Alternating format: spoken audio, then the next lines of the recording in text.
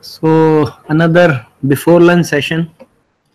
And uh, since morning we have discussed IoT, uh, Internet of Things, and one of the main enabling technology which is promising in this field is ZigBee. ZigBee is basically a wireless PAN standard, personal area network standard. It is characterized by uh, low cost sensors, very uh, low latency devices with less power. Uh, these were the basically design drivers on which Zigbee was uh, thought of, and it is based on the 802.15.4, which was basically a IEEE standard for low rate wireless personal area networks. Now, uh, basically, since morning, I'm trying to get you a prize with the panorama of the technology development. So uh, I also discussed that uh, Bluetooth, Wi-Fi, WiMAX, because that will give you a uh, short, short idea of how technologies come up. So uh, usually, uh, as I told in the morning, that uh, IEEE or ITU or some other standards agency come up with certain radio specification, depending on the availability of those radio and the design drivers. Once those are framed, usually the technology vouchers who want who want the, to develop certain technology the companies which are in the business who want to look at the future they form some sort of consortia or uh, interaction group and over the time they develop middleware standards for that protocol. Thereby lot of involving lot of industries from around the globe. This enables them to have a vision to have interoperable future to have uh, a technology which is uh, mature enough and has lot of uh, commercial interest from lot of sides thereby in ensuring that the technology has a long life cycle wherein their investments if they do so are fulfilled and they get a break even they make money out of it. So similar pattern is available in all wireless technology streams. Whether it is wi-fi wi-fi it is wi-fi alliance zigbee it is zigbee alliance bluetooth it is bluetooth sig then they come up with certain trademark they come with come up with certain intellectual property which is available free of cost to all the members of that particular group. And they there are certain type of certifications for the product from this SIG or alliance which ensure that the products are interoperable the products follow a certain standard. The various vendors or companies which are involved in all this development or are members of that group they develop commercial products based on this stack. And their commercial products are unique in a sense at the same time interoperable with other products. So this is how the industry ensures that the money they invest in a technology has a sufficient lifetime so that their actual investments if they do so are fructified. So uh, similarly zigbee has come up on the 802.15.4 so we will discuss the architecture, implementation and applications. This presentation I am presenting is a basic presentation. You will get, get the entire idea of ZigBee and if you want to pursue it further, then you have zigbeealliance.org website which will give you the latest state of the art and uh, even you can have certain tutorials online wherein you can have a real feel of the ZigBee modules. Uh, there is one company called Next which is right now very prominent in this field. Uh, previously, there was Jennic, there was one company called Jennic, which has been acquired by this next uh, right now. So they are coming up with kits for development and all those things with end nodes, routers, all those things. Now, what is ZigBee? How the name come actually? So it is an established set of specifications for low rate wireless personal area networks it is a technological standard which has been created for control and sensor networks. It is based on IEEE 802.15. created by Zigbee Alliance, which extends the upper layers of the stack not defined by 802.15.4. IEEE defined only the physical layer and MAC layer. The upper layers which acts as an interface between these physical and MAC layer and the application layer are defined by the Zigbee Alliance. Now, what is Zigbee Alliance? I'm again and again saying that it is basically an independent, neutral, non-profit corporation. which was formed by the industry to work in this technology. It is open and global. Even you can join. You can become a member of Zigbee Alliance. They will send you mailers of the latest updates as well as wherever conferences are organized. And you are able to use that protocol which they have developed with due credits to them. So over 400 companies, uh, right now this data is a bit old. There are more than 400. Membership is global and the activities include, you see the activities. Open standards for wireless sensors and controls based on 15.4. Product certification and compliance programs. They certify the product. You can have a Zigbee logo product or Zigbee enabled product. Two types of certification they provide and then branding market development and user education naturally when the user is educated then only a product succeeds so zigbee is a key enabler for iot initially it was more into wsn business but with the rush for iot it has become a prominent player in this particular field now this is how zigbee uh, seems or thinks to enable the internet of things you have Zigbee enabled devices at your home. Then you have Zigbee enabled digital smart cities. You have uh, Zigbee enabled m-commerce services and then telecom services. They all are integrated through uh, and you have access through the mobile phones. So in that manner, you are able to control each and everything over VoIP or over uh, 6LoWPAN. There is one protocol which provides an interface between the Zigbee coordinator and the internet. So in that manner, this is the complete panorama of the Internet of Things which Zigbee aspires to cater. These are various members of the Zigbee Alliance. Now, the first thing is how this name came in. Like for instance, Bluetooth, you know how it is named? That is named after Henry Blutend. He was a king who integrated all the Baltic nations, Scandinavia and all those things. So he was a king who integrated all those four countries. So to highlight his integration of that region, after Blutend it was called Bluetooth. Bla is blue in their local language. Similarly, Zigbee is basically named for erratic zigzagging pattern of bees between flowers. The way bee hovers around the flower for uh, extracting the nectar on that basis since zigbee has one of the major protocol uh, major topology which is supports is mesh. So to highlight that particular thing zigbee is named so. It symbolizes communication between nodes in a mesh network and again the network components of zigbee are alike the uh, bees you have a queen bee which we call coordinator. You have drones who are basically supervisors or we call routers. And then you have the worker bees or end nodes. So naturally, Queen Bee has the largest capabilities. Drones have some capabilities lesser or more than is equal to the Queen Bee. And then you have worker bees or end nodes who are limited in capabilities, but naturally the costing of them also is on the inversely is also inversely proportional. Now the first question uh, which arises is that why do we need another wireless PAN standard? Bluetooth is already existing, but why we need it? Because Bluetooth was more into ad hoc networks.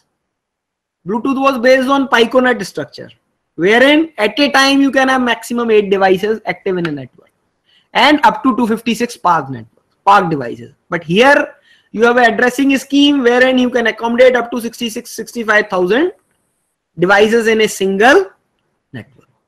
So the objectives for having another WPAN standard was to increase the power consumption, then the production cost to decrease the production cost, development cost, and then the bit error rate. Because in case of sensors, although the data is lean, but error rate should also be low. So if you see this diagram, this is basically uh, SNR ratio of various technologies and uh, ZigBee relies upon 802.15.4 which has excellent performance in the low SNR environments, low signal to noise ratio environments Zigbee is the best. Then we had to increase the sensitivity of the systems was another design driver. To increase the flexibility means the number of supporting nodes in Zigbee you have a mesh with uh, addressing a scheme which supports up to 65,000 devices. Whereas in Bluetooth you have maximum seven devices in a PicoNet. Security that is always debatable. If I'm talking about Zigbee, I will say Zigbee is better. If I'm talking about Bluetooth, there is always a trade-off in the security. However, uh, Bluetooth uses uh, uh, advanced encryption standard, whereas Bluetooth is based on safer standard. Range. Uh, now, uh, this uh, this this discussion is basically we are discussing in the context of why we needed Zigbee. As on date, as I told you that Bluetooth has inculcated into itself lot of things. It is trying to enter into the domain of Wi-Fi as well as in the domain of low energy protocols like Zigbee. So in that manner, they have adopted a lot of things from there also. But as a design driver, we are discussing the design driver right now. So uh, initially, the Zigbee was thought of having a uh, range of up to 75 meter in line of sight condition, whereas Bluetooth uh, had around 10 meter range with the original protocol. Right now, it is it is catering to the Wi-Fi domain, so it has a larger range also. But that is not with the original Bluetooth radio. That is with some additional hardware which is not compliant with 802.15.1. The various usage scenarios as we have discussed in terms of IoT, same applies out here. Industrial and commercial, consumer electronics, then you have toys and games, then you have PCs and peripherals. When I was studying, used to hear that there will be time when you can put your uh, CPU in one Almira and have all things wirelessly connected. This is happening today. That is now a normal either with a Bluetooth radio or whatever. Then personal health care is a very promising domain uh, with those health bands and all those things with non-invasive sensing techniques for blood sugar and all those things. Lot is happening. Then home and building automation that uh, it has become a commercial gimmick these days. You might be seeing that uh, ad of Godrej consumer products and husband and wife are fighting who will go to home first. I've seen that ad. So husband and wife are fighting who will go home first just because whosoever goes to home first will start the AC and the home will be cooler when the other one reaches there. So but with these type of technologies your mobile is a controller. You can start your air conditioning or even you can have a profile for your house. Because everything is smart then. Your lighting is smart. Your sprinkler system is smart. Your tv is smart. You can control everything from your app in the mobile the moment you enters the house your tv channel is your favorite one. Your uh, geyser temperature is your adaptive one. Your uh, everything is as per your wishes. Just through a single click in the app of a profile which is basically a composite of all your preferences. And the coordinator at your home which is connected to the internet will implement that particular profile on all individual sensors. Just everything you can imagine for wireless sensor nodes or in general short range communications. 2.4 gigahertz because it is free in India, it's 2.4 gigahertz. There are certain frequencies which are available. We will discuss. Uh, in Europe, there are there is uh, uh, one 868 megahertz available, and uh, in US also there are certain frequencies. I will detail out. Now, uh, this this this was the original protocol stack, and this I have I am continuing to keep because right now the Zigbee stack is a bit different. But this I am because this gives an excellent understandability to students you have MAC and physical layers at the bottom these are the three frequencies 868 mega 915 but these are the prized catch in our country 915 gsm is operating so these are not available here but they are available in america because america works on 1800 megahertz तो CDM India में fail या मोर और less नहीं चला technology वो US वगैरह में वो उसी फ्रीक्वेंसी पे काम करते हैं मोस्टली चलता है। बट नाइन फिफ्टीन वहाँ नहीं चलता है। हाँ। ठीक है। Then you have two point four गाई girl which is the I S M band which is globally available but since it as it is called industrial scientific and medicinal band now the middle layers the network layer the security and the application programming interfaces are developed by the zigbee alliance. and at the top you have the applications. Here i have written customer. It is actually vendor. Or the person who is bringing out the commercial product based on this particular protocol. So they develop customized application. The zigbee alliance also comes up with specific application profiles. there's zigbee smart home 3.0 hai there are specific application even applications available for installing a smart home capabilities wherein you will have all the devices with sensor enabled and you will have a coordinator with that profile uploaded you can control everything.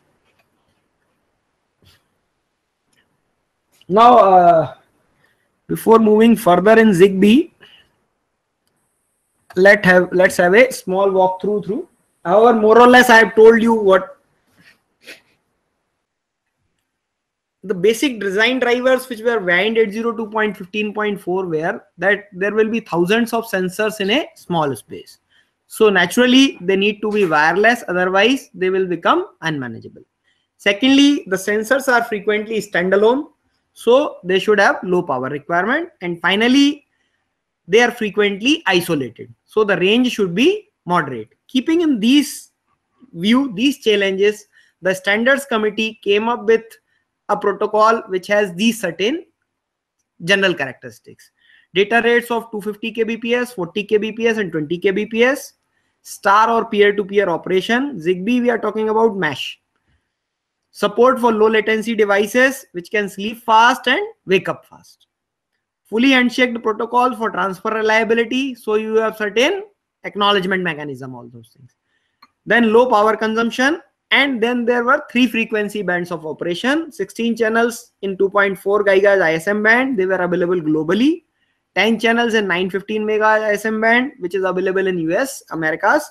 And one channel in the european 868 megahertz band. Recently china has opened up certain newer frequencies also for this purpose. So the basic architecture uh, had two radios at the physical layer. One that supported 868 or 950 megahertz uh, band and one that supported the 2400 megahertz band. These are the various channels with a band gap of 2 and 5 megahertz. Now, as in the OSI model, as we discussed in the OSI model, naturally uh, the PSD was having uh, is having 1 to 20, uh, 127 octets.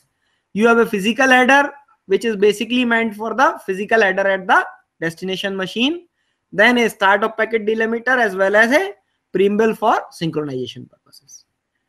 Then at the mac layer the basic tasks were as with the osi model channel acquisition management frame security and naturally error correction. So uh, these were the design drivers. I discussed in the first slide also low cost ease of implementation reliable data transfer, short range operation, and very low power consumption. So simple but a flexible protocol. Then uh, at the MAC layer, there are two, four types of frames totally. One is the data frame, another is the beacon frame, third is the acknowledgement frame, and a MAC command frame. This we will discuss when we will discuss in totality the types of communication which happens over these channels. Data frame is nothing but actual data beacon frame is for uh, asynchronous communication mode wherein uh, after a certain time it sends a beacon on the channel. Acknowledgement frame is to acknowledge the receipt of the data and command frame is to for settings of the system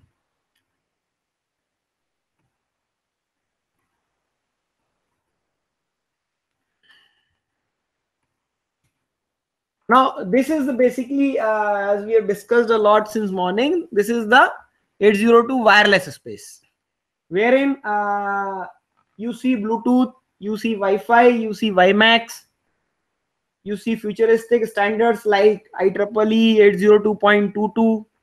So here you see, uh, then in the Wi-Fi space, now you see the data rates. For Wi-Fi, the typical data rates is between 10 to 100 Mbps. For uh, Bluetooth, the data rate is 0.1 to 1 Mbps. But there was a gap in the range wherein the data requirement was 0.01 to 0.1 Mbps. Means in the area where very lean data comes in, a sensor is triggered only when an event occurs or periodic events maybe they are that time at particular instances of time you are taking on the temperature readings all those type of things so the zigbee frequencies i think i have discussed already three frequencies hai what does zigbee do this also i think we have discussed it is designed for wireless controls and sensors operates in pan and device to device networks connectivity between small packet devices control of lights, switches, thermostats, and appliances. I will discuss the examples which will show how, th how things are easy with this type of systems. Now the basic architecture is that you have a 64 net bit long addressing wherein you have uh, around 66,000 devices, 27 channels over three bands, maximum data rate of 250 kbps. It is optimized for time critical applications and power management full mesh networking support. Now, there are two types of nodes basically. Uh, as far as ZigBee is concerned, there are three type of nodes. However, the standard 802.15.4 defines only two types of devices. One is full function device, second is reduced function device. In ZigBee, there are three types. One is the ZigBee coordinator. In a particular network, in a particular individual ZigBee network, there is only one coordinator. It initiates the network, stores information about the network. All the devices either directly or indirectly communicates with the ZigBee coordinator. It has the routing functionality and it acts as a bridge to other networks like IP. Then you have a ZigBee router. It is also called a full function device in 802.15.4. But in the Zigbee parlance, it is an optional component. There can be instances where you have only nodes and the directly coordinator. It is not a mandatory part of a network, but it is an optional component which helps you to extend the range of the network at times. Routes between nodes extends the network coverage and manages local allocation and deallocation of the child nodes which are associated with that particular router. Then the third is the ZigBee end device. It is the cheapest of all, have limited power capability, have limited processing capability. Mostly sensors are housed at ZigBee end devices. Optimized for low power consumption, cheapest, communicates only with the coordinator or router and sensors would be deployed out here. And in the IEEE parlance, it is called RFD, reduced function device. Now again, what type of data we can have in this scenario? One is that we have a periodic data collection. Secondly, data comes in intermittently at any particular time. And third is that data is repetitive. It comes repetitively. So uh, the various traffic modes which are optimum for your use case scenario depending on the traffic type are two. One is the beacon mode. Beacon mode is one in which whenever the periodic data is to be transmitted, a beacon is sent from the coordinator. Now, the coordinator and end nodes are so synchronized that whenever this beacon comes in, it has a cooling off period. Within that cooling off period, all the sensors wake up or all the end nodes wake up. And then after the communication is done, they can all again go to sleep, thereby enabling a lot of power saving.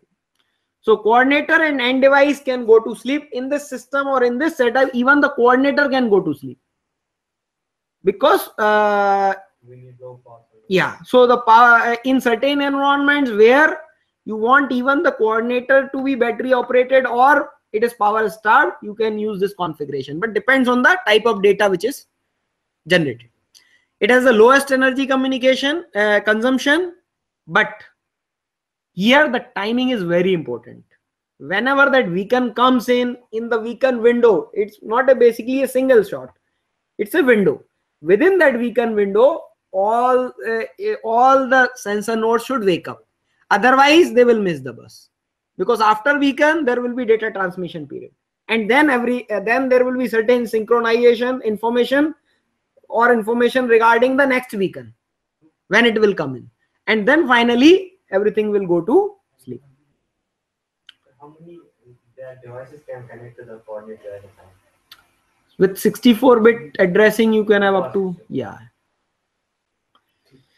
now uh, this is a setup. Here you see initially a beacon comes in which is indicated by res then there is a cooling off period wherein no communication happens and it is expected that in this period everyone is wake up. Then you have a contention period wherein anyone using the csma ca approach can acquire the channel whosoever has the ready data with it. Carrier sense multiple access collision avoidance. And then for data which is periodic, you can have guaranteed time slots. कि भाई इस slot, slot में केवल यही sensor अपना data. Send करेगा then at last you have another beacon which indicates that all of us can sleep now the data transmission is over and the next duration wherein the beacon will come in at the, uh, the the synchronous time at which you have to wake up again then another mode is non-beacon mode Hmm? Yeah, it, it it it has it has the information regarding next action, or uh, there can be a setup wherein it is fixed at priori that when the next beacon will come in. But for that, the clock should be synchronized. That is critical. Timing of the clocks is very critical in that case. Then why do we need to send this beacon at the start? Because they, they already know that they have to wake up at that time. Mhm. Why do we need to send the first? Because there are chances that uh, consider the case that net coordinator has gone down. Consider, for example, the coordinator is also battery operated, has gone down, or it has been compromised in some manner, and then They will send the data and that is not there.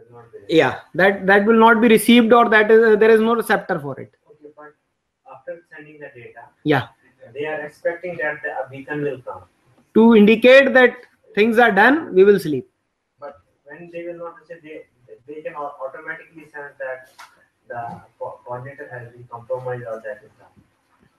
For that, there are certain security features also, no? which will have pertaining information in this regard.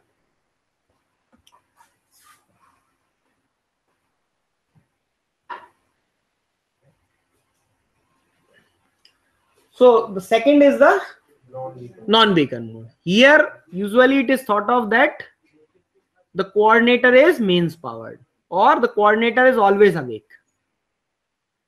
In that in this setting, the coordinators oblique routers have to stay awake and uh, it can be a heterogeneous network wherein one part is net uh, very power starved the other part has sufficient power so whenever a fire sensor gets some information only then it will transmit. Otherwise there is no need ki there is no meaning that we transmit after every half an hour there is no fire so the power is asymmetric in this case. Here uh, whenever a network device has certain data it sends the channel. If it is available it will send data over the channel and an optional acknowledgement mechanism can be there or can't be there it depends on your application and requirements. Now uh, this is something um topologies you might all know very well. Mesh and so here the basic difference between mesh and tree is that in mesh the routers are able to communicate between themselves. Routers at the same level. Who are router? yeah. Routers at the same level are able to communicate with each other whereas in a tree topology routers at the hierarchical level can communicate. Here in this is the child router of this one. Okay? B- but these two are both are the child router of this router. So by installing routers, yeah.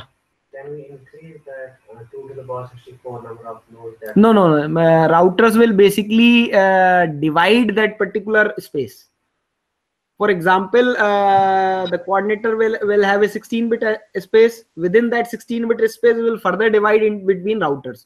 So as and when the hierarchy goes down means child routers have again child routers. In that case the the the, the addressing space of the parent router will be divided among the child routers. Now in tree So that, the address that is that is available on with the nodes. Yeah is this physical address or logical address? address available with the nodes uh, is the physical address of the nodes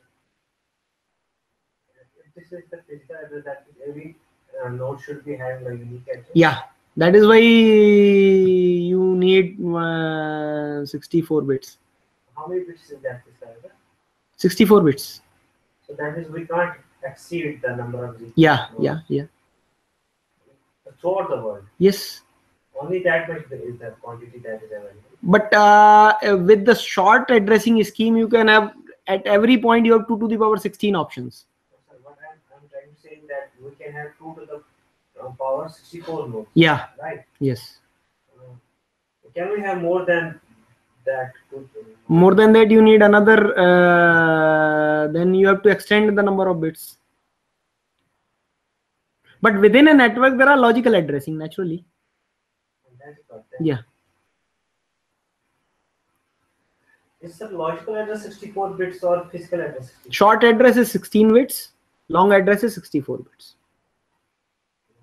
Short is 16 bits. 16 bits within a network That will be logical address. yeah now uh, That will be assigned by whom? Router or coordinator? Uh, depends uh, initially the coordinator will start the network that will assign uh, addresses to and bind create binding tables for all those which are directly connected to it. Then within the network every router will have a space. So then it will it will create its own binding table. If, if there is no router then it will be naturally assigned by uh, the coordinator itself. That is held at a level uh, this is a good example of mesh networking. For example, uh, you have these control uh, and, and devices which are connected with that particular switch. Now in a mesh, if a particular route or uh, means uh, with uh, here we follow AODV algorithm, ad hoc on demand vector algorithm. So that algorithm finds the best short route. Suppose a particular node goes down. So in that case, with mesh networking, new route will be generated. Now the benefit is that right now between the switch and the the uh, uh, device you need physical wires. But with ZigBee or any wireless networking uh, system, that physical wire requirement or the uh, things become lot safer because at the switch level you don't need mains power. The mains power is only at the device level. So the switches are far more safer. Right now there is a physical wiring between both of them if it, if a switch operates. Now this is uh, actually the stack wherein various things happen. Uh, the network layer is responsible for network organization, route discovery, and message relaying. The application support layer is basically an interface between the network layer and the application layer. The ZigBee device object which you see spanning from application to the network layer is basically an application having endpoint address zero. So that performs the task like device management, device discovery, and service discovery. And then uh, device binding and messaging is done at the application support layer. Security functions are performed by SSP layer. This stack has been updated right now with the latest protocol, latest stack. It is quite different. Now this is the physical uh, details in the 24 megahertz band. You have four bits per symbol. Uh, you follow the direct spread spread spectrum technique with 32 bit chips. Modulation is QPSK and sine hub wave impulses are there. In case of uh, these other frequencies, the symbol is single bit. These are various uh, physical layer or radio requirements. Then at the MAC layer, you have the channel access specification, whether it is a beacon mode or non-beacon mode, super frame structure, and slotted or unslotted carrier CSMACA. Slotted is the slotted is for implementing that GTS mechanism, and unslotted is whomsoever wants it can communicate. Then the MAC layer also performs the task of managing the personal area network, like channel scanning, PAN ID conflict detection and resolution, starting a PAN, sending beacons. These all things are performed by the MAC layer at the lower level. Transfer handling is also performed by the MAC layer, which includes beacon indication, polling, and then acknowledged and non-acknowledged transmission, GTS management, including allocation oblique deallocation of GTS slots. The last is a frame security task to ensure that then you have a various available security modes out there. Now with MAC layer, you are up to only a one hop distance. The routes are not discovered or decided or binded at this level. So beyond MAC layer, when you go to the network layer, route discovery task is performed. Here only, these are all connected with one hop distance. Because MAC, MAC is not end to end. That is only hop to hop. Now suppose these two new nodes joins to the router node 5. Now how to how coordinator 0 can communicate with them? Here the network layer comes into picture. So the various tasks which are performed by the network layer are distributed as address assignment. So it is a, either a tree structure or self-managed by the higher layer 16-bit network space, which we are talking about, is divided among the child routers. Now the child routers further divide their space again for their children. And the decision making is done on the basis of there are certain parameters for that. They can be maximum child count per parent, maximum child routers per parent, and then maximum network depth. For example, suppose uh, the three criteria I've taken is 222. You can have maximum two child, maximum two child routers and then network depth can be 2. So in this case, if a new node comes in and wants to join 4, it would not be possible because already the depth is 2 and 4 has already two childs. So in this case, what will happen is that it cannot get connected and if it is in the vicinity of 1 then it can approach 1 for connection. Or it will be orphaned. In that case if it is not in the vicinity of 1 it will be naturally orphaned. Then network layer also performs the route cost estimation. And this is basically based on AODV what is the cost of reaching from one point to another and it will select which is the best so uh, the basic metric to compare goodness is link cost between the two neighbors. So the total path cost will be sum of various link costs. AODV is followed out here basically. Another task which network layer performs is route discovery, wherein it finds the route between two nodes. So that is also a standard that uh, broadcast a route request package. And then that route request packet comes back from the end node through a particular route the route from bit which comes at the lowest cost or fastest is selected as the final route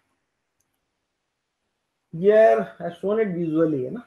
for example you want to find the route between two source and destination nodes So uh, the source node broadcast a route request package. Through various channels, it reaches the destination. Now, since this is the shortest route, so it will come with the minimum hop counter. And another parameter is the link cost. If, uh, so the total uh, like PERT technique we have followed, program evaluation and review technique. In that manner only, the final route cost is decided. And then on the basis of the best solution, the route is fixed. Yeah. Yeah, okay. Then uh, routing tables are there at the router level also and as well as the coordinator level. Then uh, again routing task is obviously check if the routing table entry exists. If yes, initiate a route discovery if possible and hierarchical routing as a fallback. And another task which is performed by the network layer is route maintenance that we have discussed in that pictorial example that if some some nodes go down in that case you have to find the you have to remove that route from your routing tables and then you have to find an alternative route so that includes orphaning procedure and re reassociation procedure is also important because there may be case that i replace the battery if, if i find and the battery is replaced that node is again on then in that case can be real now at the top is the uh, at the top of the network layer is the application support layer. And the application support layer acts as a bridge between the network layer and the actual application. You can see the application identifier there is written endpoint address. So on a single node up to 8 256 device uh, 256 sensor can be housed with that 8 bit addressing scheme. For that 0 is the zigbee device object address and 255 are free.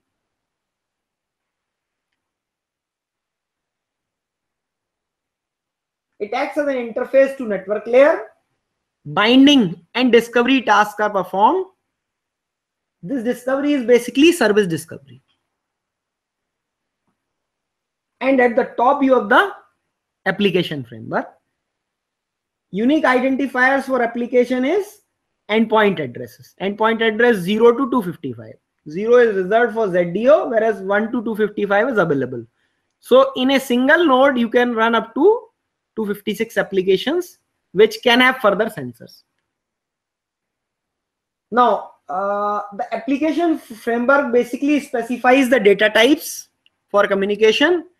Now it's like a programming language. You have in uh, you have variables then you have unions and structures which you can generate with the help of those variables which can be used. So you have complex data every device has a descriptor which is called the zigbee descriptor which has information regarding that particular descriptor. Like frequency band in which it operates its power description application flag serial number manufacturer and so on Now, what does this Zigbee device object do? It basically defines the role of devices within the network.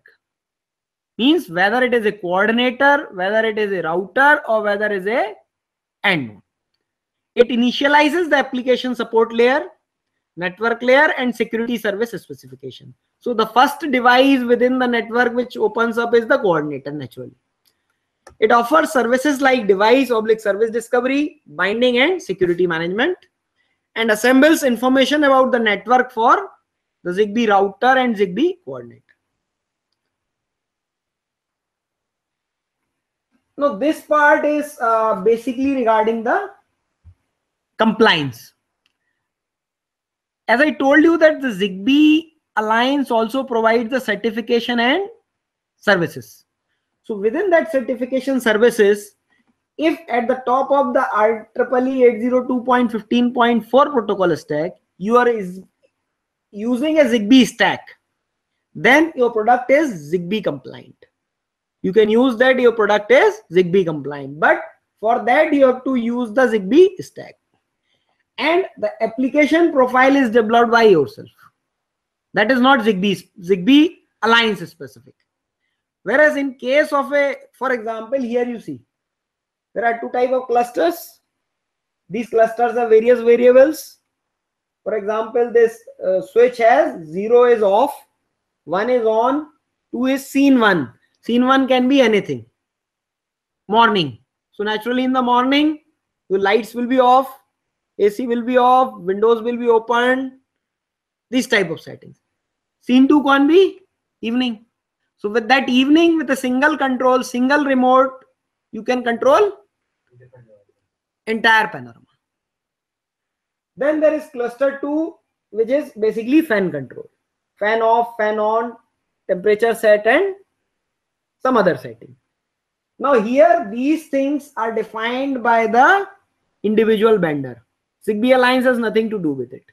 But it is developed on the top of the Zigbee stack. So this particular product will be called a Zigbee compliant product. Zigbee Alliance provides compliance certification for certain devices wherein the manufacturer has developed his own specific profile. However, Zigbee Alliance also publishes lot of public profiles. And if you develop something at the top of that public profile, then your product can be a Zigbee logo product. You can have a Zigbee logo on your product and you can write that this is a Zigbee logo product. What that means is that you are completely following that particular profile. You're developing your application or customizing your application on the top of that profile. So what does it ensures is that it application conforms to a specific public profile. Right now, a lot of profiles are available. If you visit the zigbeealliance.org, there is one website. If you visit that website, a lot of public profiles are available and manufacturers or vendors are using those public profiles. And when they develop product, then they are called Zigbee logo products. This I think you can naturally visualize the application spaces for Zigbee wireless control that simply works. Building automation, personal healthcare, industrial control, home control, PC, per, I, I think I have already discussed. Now these are the examples. In a house, you can have a light controller, you can have a smoke detector, motion detector, window open close controller, entertainment control, and then you have a coordinator in between. That coordinator will provide you with some sort of remote and wherein you can have scenarios. So with a single remote, you can control everything in the house. And again, that is an industrial setup. So wherein you have pressure gauges, environmental monitoring, high voltage monitoring, AC monitoring, you know, tank level monitoring and control, all those things. Similarly, uh, this is for a home. Now for city level implementation of ZigBee, you need repeaters also because naturally you need power boosters. So that setup I will show there is one city in Scandinavia called Göteborg that is called the ZigBee city. They have all metering water as well as power based on ZigBee nodes. Again, home control. There is one company Control4 which develops such products. You can have a single remote for everything. In home patient monitoring that will have an IP interface with the controller through protocol and uh, the hospitals will be connected to it. This is again a very useful application. Commercial lighting control. As we see now, these are marriage day, these are transition days. Nowadays, the days are longer, but usually you will see in each and every city in our country that in the morning street lights are on up to very late. In the evening they are opened up early when they are not required. Because they have a standard time frame. And uh, during the uh, that changes but this particular one period is they always there wherein uh, their schedules or schedules don't change but the daylight timing changes. But with this type of solutions you can have these things automated. Now this is what we were talking about about the home lighting or switches. You have to design and install. Then maintenance is very easy because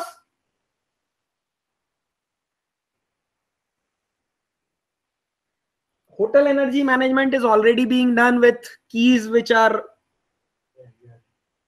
but those are mechanical switches basically so with zigbee you can have wireless control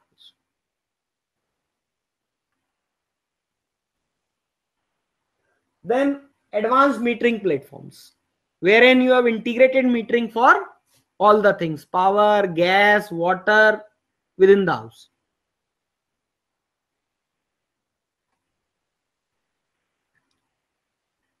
Now they are trying to use the mobile handset as a gateway to control the zigbee co coordinator and other things through ip and other technology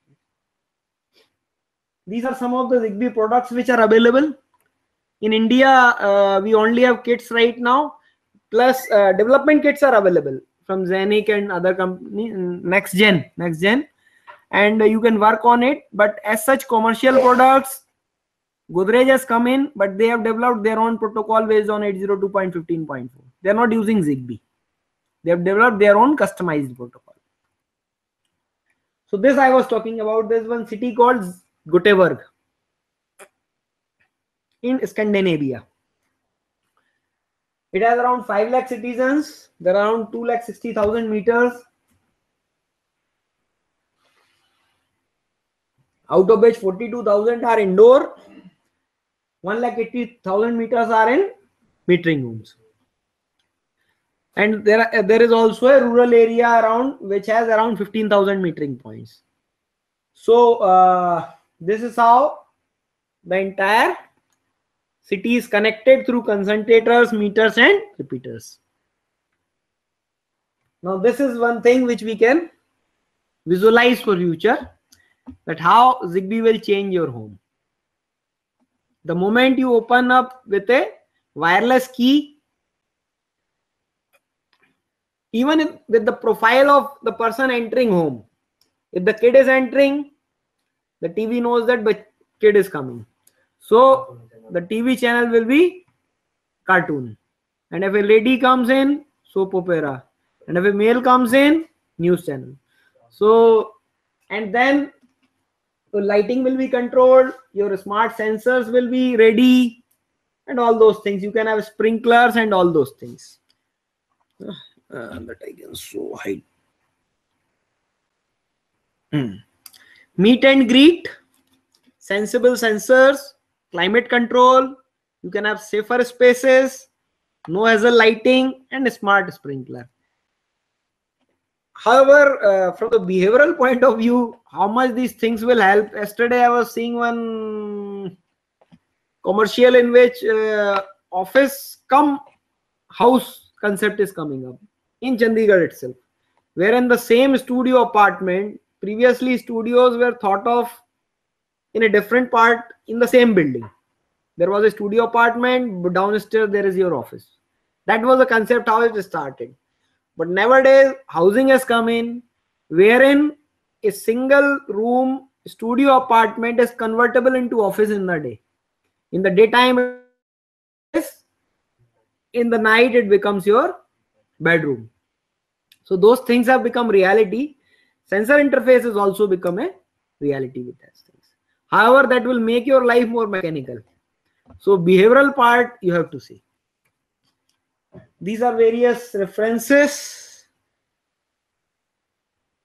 thank you uh, if you have interest we can discuss a bit of so the lunchtime any questions in this regard? So that means at least we should be having one node and one coordinator. Yes yes. Even even coordinate you can have single thing also. The coordinator is able to house sensors. You can have kits right now so kits are coming uh, which which which have uh, on uh, the coordinator also have on chip sensors So you, you if, if your application or utility is very small, you can have uh, everything on the coordinator also. The coordinator can also house sensors. Okay, sir. And coordinator should be having a internet connection for If you want Remote. bridging with remote things, you need uh, that thing. So there is one protocol with Zigbee called 6LOWPAN, which provides you bridge between the IP and the Zigbee.